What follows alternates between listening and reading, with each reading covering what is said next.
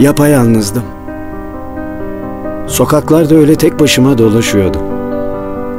Sağlığım her gün kötüye gidiyordu. Ve bana yardım eden kimsem yoktu. Ta ki onunla Lili ile tanışana kadar. Bir sahiplenme iki hayatı kurtarır. Sahiplenin.